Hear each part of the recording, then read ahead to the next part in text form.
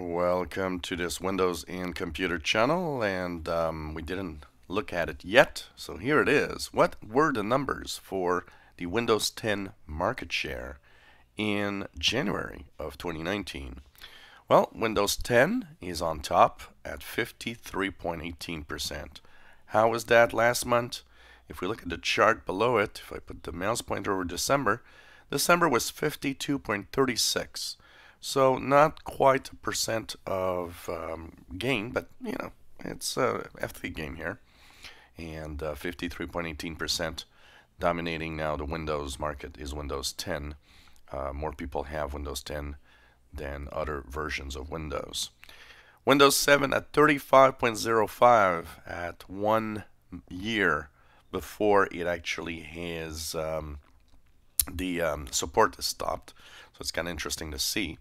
So if we go here, put our mouse pointer on Windows 7, it was 35.63. So it lost a little more than half a percent in um, the first month of 2019. If it would continue like that, that means that it would be about, um, well, 6% less.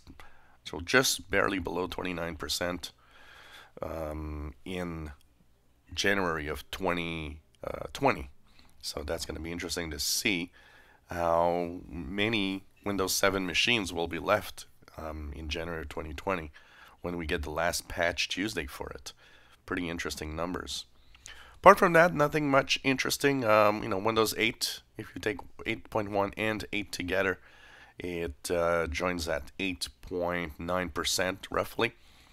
Uh, Windows XP still powering 2.18% of computers. If we look at Windows XP, has it moved? Windows 8, Windows Vista 8, um, XP, and uh, and and here we go. Here's Windows XP somewhere here. Here we go.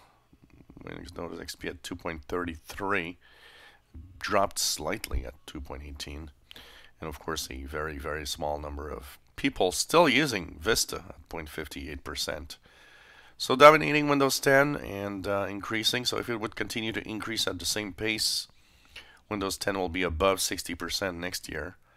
Um, how fast will it actually grow this year? Some people are thinking it might grow faster because of the demise of Windows 7.